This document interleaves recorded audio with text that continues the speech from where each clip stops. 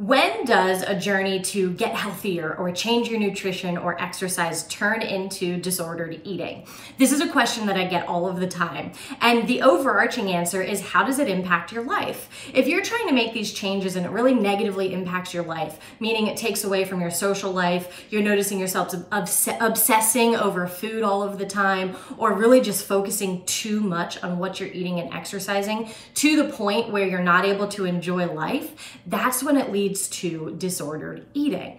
So I'm going to talk about this in the context of kind of four different things here, right? The first one is actually logging food. Now, logging food is something that a lot of people will sometimes do uh, when they're trying to change their nutrition, right? Either they want to just see how many calories they're getting in or they log for the purposes of making sure they're getting in enough protein, etc. When that's going to turn to disordered eating is in these few examples. Number one would be if, you know, you don't eat a food because you don't know how it's going to log, meaning you won't eat out or you won't eat at a friend's house because you're not sure of the calories in it, so you just avoid it entirely. That would be disordered eating. Another would be if you're so rigid about the amount of calories that you're requiring for yourself that you obsess over it and panic if you go over. For example, let's say you set your calories at 1900. If you have 1950 or 2000 in a day, you freak out and feel like you have to compensate and do all of these things to make up for that little bit over, right? There always has to be flexibility. It is perfectly normal for you to not eat the exact same amount of calories every single day for the rest of your life. Another time in which logging food would become disordered is when you're finding yourself skipping meals in order to fit into your calories. Does that make sense? So, for example, one thing that I see is someone will know that they're going to go out to eat and they're okay with that this time, but they'll skip breakfast or lunch or whatever to make sure it all fits within their calories. All of those would be examples of how that can transition into disordered eating. Logging should be there to help you. Logging should be there for a little bit of accountability to make sure that you are keeping some consistency with food, but it shouldn't be that obsessive with those points that I just mentioned. Now, the, the second point in which I want to bring up in how this can transition into dis- disordered eating is exercise, right? Now, I know that's not eating, but exercise can become very disordered. It is fine if you want to add a routine to your days and you want to try to exercise more or you want to do something with some sort of structure, that's fine. When it becomes a problem is again, how is it impacting your life? If something unexpected comes up, do you freak out because you missed that workout? Or do you work out extra hard the next day because you missed a workout? Are you working out when you're sick or when you're injured? Any of those things would be when that becomes disordered and obsessive and not truly focusing on just bettering your health and lifestyle. The third point would be trying to eat more healthy foods, right? And a lot of people are like, well, how could that possibly be disorder? Again, it comes down to the rigidity around it, right? So let's say you are trying to add in more vegetables to your days or more fruits or more proteins or whole grains or I don't know, whatever it is, right? That's great. There's no problem with trying to incorporate those foods into your diet.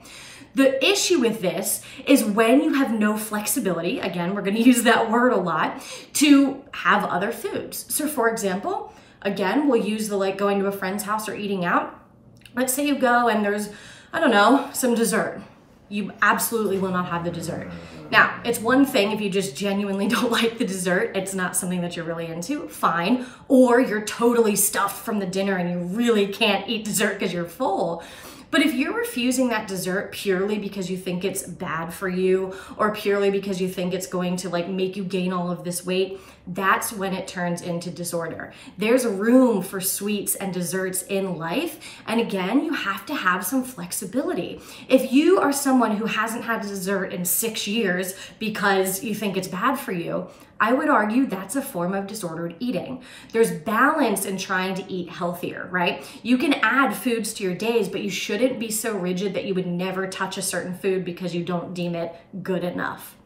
Now, the last point that I want to talk about that can be kind of a gray area on this disordered eating is avoiding sugar. So that kind of ties into what I was just saying, but I wanted to touch on this specifically because this is something that uh, can sometimes be a point of contention. A lot of people think it's fine to say, like, okay, well, I'm cutting out all processed sugar. Everybody says that that's okay, sugar is bad for you, blah, blah, blah, blah.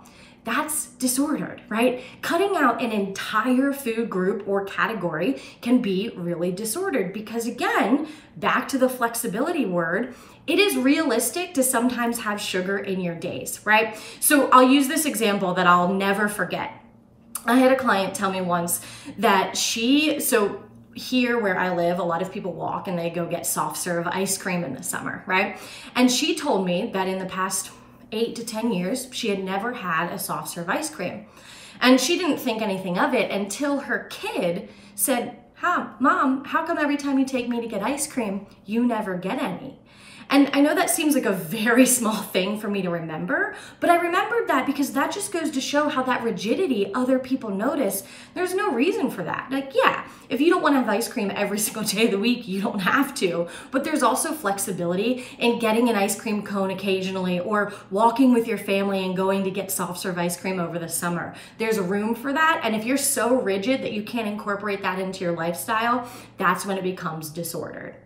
So I wanted to talk about all these points today because again, this is a really common question. When does trying to be healthy turn into disordered eating? And in case you didn't notice, the common theme here is the rigidity versus the flexibility. We always want to be flexible with our food. When you're making lifestyle changes, it's so much more realistic to be flexible and have some room for different things to happen and live life as opposed to being so obsessed that you can't stray from your plan ever without freaking out. Hopefully you see the difference there. Please leave us any questions that you might have in the comment section. Don't forget to like and subscribe.